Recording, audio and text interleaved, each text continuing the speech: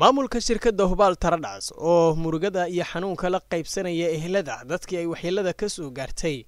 Qaraxii maanta ka dhacay ex control afgooye ayaa gaaray isbitaalka madiina waxaana ay kormeereen xaaladda dadka ay waxyeeladu ka soo gaartay qaraxaasi maamulka shirkadda hubaal taradhas ayaa deeq lacageed waxa ay gaarsiiyeen dadka dhaawacyada ugu daran qabay ee la dhigay isbitaalka madiina si ay u muujiyaan in ay la qaybsanayaan dhibaatada iyo waxyeeladii soo gaartay ehelada dadka soomaaliyeed.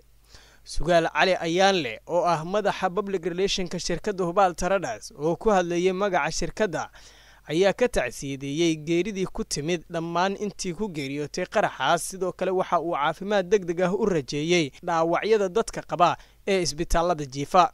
Innaa lilaahi wa innaa ilayhi raajicuun. Waxay ka tacsiyeynaysaa maamulka mas'uuliyiinta shirkadda hubaal. Dhibkii soo gaaray walaalaheen waxaynu leenahay intii ku dhimatana allah u naxariisto intii ku dhaawacantana allah u boogadhayo maamulka iyo mas'uuliyiinta waxa ay garteen inaysan indhaha ka laawanin dhibka walaalahooda soo gaaray inay caawiyaan islamarkaana isgarab taagaan.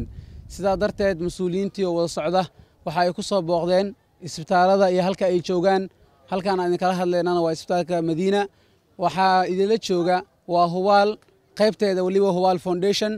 Waxaan shirkadaha kaleeto oo bahda shirkadaha u shaqeeya bulshada aan ugu baaqaynaa inaysan walaalahooda sidaasi lamida aysan indhaha ka qasanina u yimaadaan bulshada marna mar kasta lagama shaqaysta waa loo shaqeeyaa inaan makaranaysa ayaan ugu mahad celino intii makaranaysa maamulka isbitaalka siday noogu soo dhoweeyeen noo dul taageen islamarkaana ay noo agaasimeen mar kale cabdinaasir socdaal raadiyaha iyo telefishinka dalsan muqdisho